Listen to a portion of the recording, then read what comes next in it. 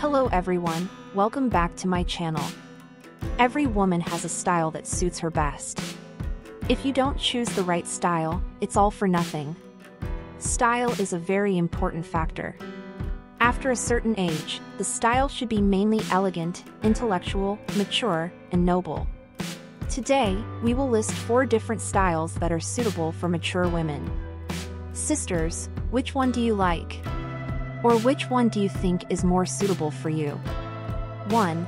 Fresh and age-defying style. The matching items are basic tops and printed skirts. The printed element of the half-length flared skirt can be well combined with basic shirts or t-shirts to create a complex and simple effect. 2. Chic and sassy style. The matching items are a white shirt and jeans. This style is mainly simple and generous, without unnecessary elements. The color and design look very comfortable and neat. 3. Sporty and casual style.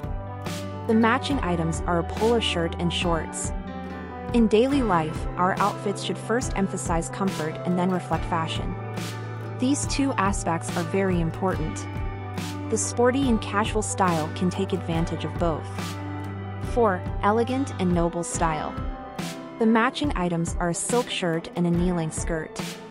We can try some knee-length skirts, such as flared skirts or simple skirts with flowing lines. They are all elegant and versatile, and can also create a high-end look. Sisters in middle age, when we see our figure and appearance gradually aging, don't be anxious or worried. As long as we learn how to dress, we can still be a refined woman and be elegant to old age.